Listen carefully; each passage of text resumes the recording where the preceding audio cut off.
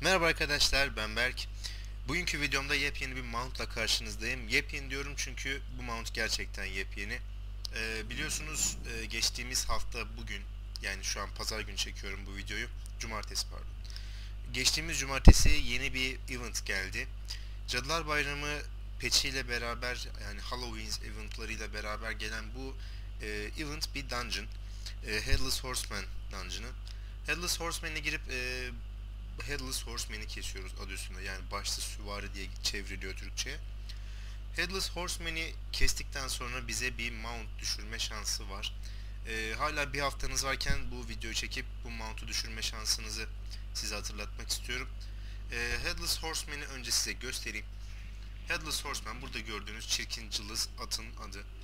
Ee, yani bir zararı olmaz alsanız hani ben çok beğenmedim ama e, alabilirsiniz tabii ki.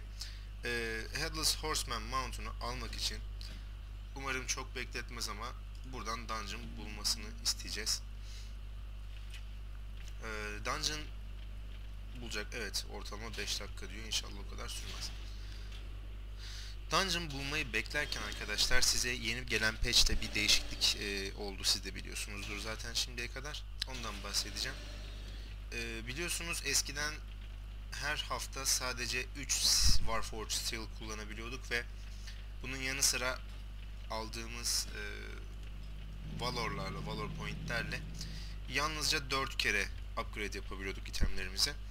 E, yeni gelen patch ile Warlords of Draenor'a hazırlık patch ile bu değişti arkadaşlar. Artık e, istediğimiz kadar Warforged Seal kullanabiliyoruz ve dolayısıyla e, daha fazla item düşürme şansımız var. Aynı zamanda Valor Point'ler tamamen kullanımdan kaldırıldı. Onun yerine Lesser Charm of Good Fortune kullanıyoruz. E, Lesser Charm of Good Fortune'larımızla yine aynı şekilde e, neydi onun adı? Upgrade yapabiliyoruz. E, peki neden bunları anlatırken bir yandan da buraya geldim koşarak. E, burada biliyorsunuz Timeless Island şu bölgesinde froglar var. Yani neydi o? Kurbağalar var. Ee, bu kurbağaları şimdi birazdan oyun yüklenirse eğer bir yandan video yüklediğim için çok fazla lag var. O yüzden kimseyi göremiyorum şu an. Evet, Tabi burada bin kişi olduğu için şu an biraz kasması normal. Evet tam şu an yüklen yüklendi. Tamam yüklendi. Yok hala yüklenmemiş. Birazcık daha bekleyelim. Zaman verelim. Ee, şimdi burada inanılmaz bir kalabalık göreceksiniz eğer oyun yüklenmeyi başarırsa. Bu göreceğiniz kalabalığın tek sebebi bu gördüğünüz Gulp Frog'ların e, garanti olarak Lesser Charm of Fortune düşürmesi. E, her bir frog garanti en az bir tane değil, en çok da bir tane. Yani tam olarak bir tane Lesser Charm of Good Fortune düşürdüğü için e, az önce bahsettiğim sebeplerden ötürü herkes e, bu charmları farmlamaya geliyor buraya. Her rende mutlaka böyle durum. E, eksiksiz, istisnasız olarak tamamen e, bütün renlerde frog bölgeleri full dolu. 24 saat böyle kesinlikle denedim. Ve sabah 7'de, 8'de, 6'da, 5, 4, 3 ne, ne zaman girerseniz girin tamamen her zaman full burası.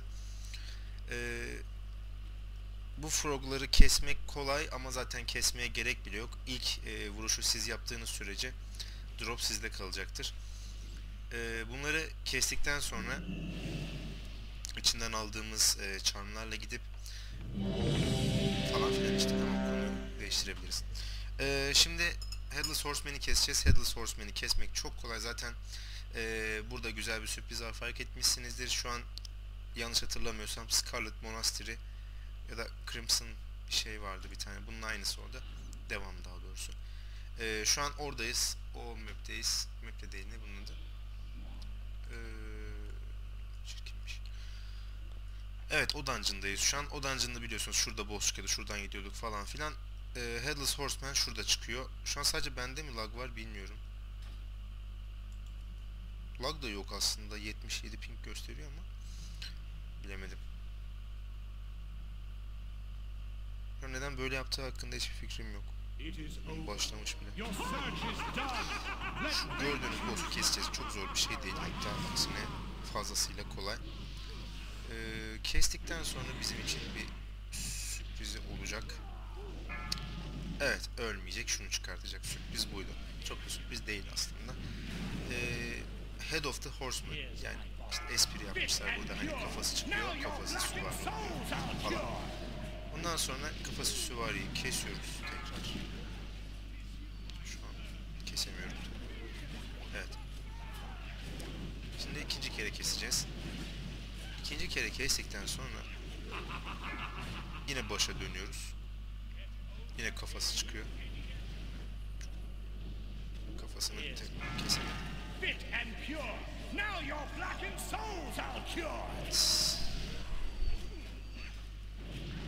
Tekrar kesiyoruz. En son e, üçüncü phase'de ölmeye yakın pumpkin sallıyor dışarı. Pumpkinler doğuyor falan ama yani çok e, kasıntı bir dungeon değil o yüzden rahat olun. De ben damage vurabilsem neler olacak. Evet en son phase'de yine şu gördüğünüz kafayı dışarı atıyor. Kafayı kesiyoruz ve bitiyor. Bu kadarcık aslında. Ee, gördüğünüz gibi garanti en az bir tane değil. Niye en az diyorum ki ben? Bir tane ring atıyor. Ee, int agility str olabiliyor. Şansıma int geldi. Benim de ihtiyacım var ama bunlar unique zaten. O yüzden alamıyorum. Boş ver. İhtiyacı olan biri alsın. Tabi bizi asıl ilgilendiren olay Lootfield Pumpkin yani şu. Şimdi bunu açacağız. Eğer şanslıysak mount'umuz düşecek. Ee, ki büyük ihtimalle değiliz. Açtık. Kesinlikle değiliz. Düşmedi. Şunu veriyor. Bu da yine bir mount'umsu bir şey. Cadı süpürgesi. Uçabiliyorsunuz falan filan. Ee, normal mount'a binebildiğiniz her yerde buna da binebiliyorsunuz. Güzel yani ama e, Hallow's End bittiği zaman bu da kullanılamaz hale geliyor. Aynı zamanda bahsettiğim e, maskeler. Ork maskesi takıyorum falan. Hani Cadılar Bayramı esprisi. Bir de bunlardan veriyor. Bunları da böyle çok çok yiyerek kusabiliyoruz. Achievement kazanıyoruz falan filan. Ee, işte bu kadar arkadaşlar. Şansıma düşmedi ama e, umarım siz benden daha şanslısınızdır da size düşer. Ee, sorunuz olursa yazmaktan çekinmiyorsunuz her zaman gibi. Beğenin, abone olun, arkadaşlarınıza falan anlatın, atın, link atın girsinler. Çok güzel deyin, abartın böyle. Ee, kendinize bakın arkadaşlar. Bir sonraki videoda görüşmek üzere. Önerilerinizi yorum olarak yazmaktan çekinmeyin sakın. Görüşürüz.